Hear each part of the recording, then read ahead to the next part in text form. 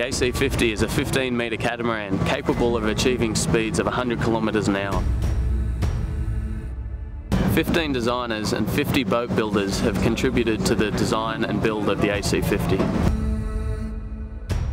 Our testing boats were designed to be as close to our racing boat as possible, but now that we've uh, improved over the last couple of years, the systems of our, of our testing boat, we've put all this into our new racing yacht.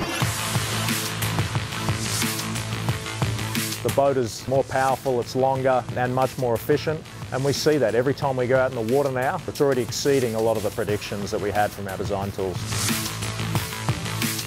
One of the key uh, things for the boat's performance is whether the control system is very tightly connected and quick response. BMW has been doing it for a long time. Quick reactions on a race car is exactly the same as the reaction times required on the America's Cup boat in conjunction with the BMW engineers, we have revolutionised how you operate an AC class boat right now.